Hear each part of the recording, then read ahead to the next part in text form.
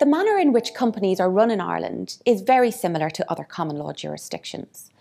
This familiarity and Ireland's familiarity with inward investment makes setting up and running a company in Ireland a relatively straightforward process for global organisations. The incorporation process itself is, is unremarkable and it can be very quick. The corporate governance team at Mason Hayes and Curran advises on the incorporation process and prepares the paperwork. We talk you through the various requirements, we help you to meet them, and we file the paperwork so that the company is incorporated in the quickest time possible. Prior to doing that, though, we can help you to, to understand the best structure for your Irish company within your global group. We'll talk you through the various company types, help you decide on the one that's most appropriate, which is usually the private company limited by shares. And we can advise on the various corporate governance needs for that organisation, the, the, the requirements in Ireland, and where there might be nuanced differences between regimes here and elsewhere in the world. As I've already said, the incorporation process itself is relatively unremarkable. However, if I was to give you some tips in terms of the things to think about prior to incorporation, it would be these. Choose a company name. Um, company names in Ireland need to be distinguishable from every other company name on the register and they need to be pre approved by our registrar of companies. Um, so come up with a few, let us know what they are. We'll run them past our Companies Registration Office, and if we settle on one that everyone agrees with, we'll reserve that in advance. Think also about the addresses for the company. So in Ireland, a, a, company does need to have a registered office, which is the official address to which formal, formal post will be directed, and also a place of central administration of the organisation in the state. Um, we can assist you in determining how best to structure that in, in the early days of the company prior to you having um, an actual place of business.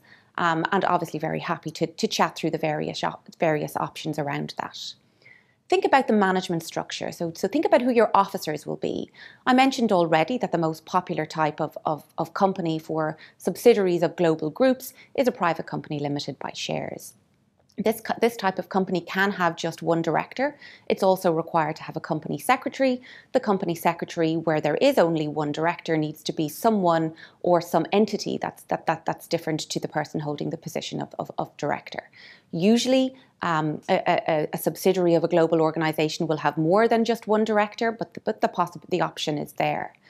The director of an Irish company must be a person, it can't be a company or, or a body corporate. However, as I said already, the company secretary can be.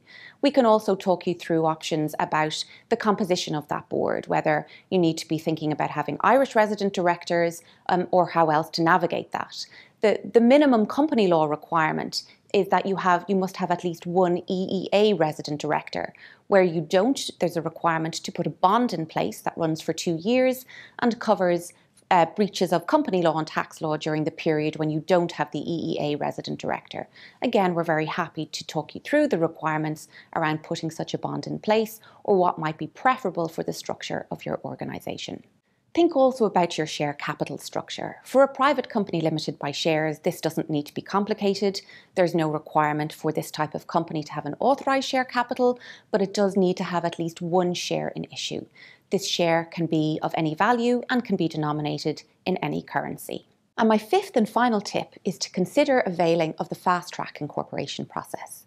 This process allows a company to be incorporated within five business days of, of, submission of final signed paperwork. In order to avail of the process, though, the incorporation needs to be needs to use a pre-approved type of constitution. A constitution is a company's rulebook and it can be changed post-incorporation to include the rules that an organisation would like to include by way of special resolution of the members. We can talk you through exactly what this process involves.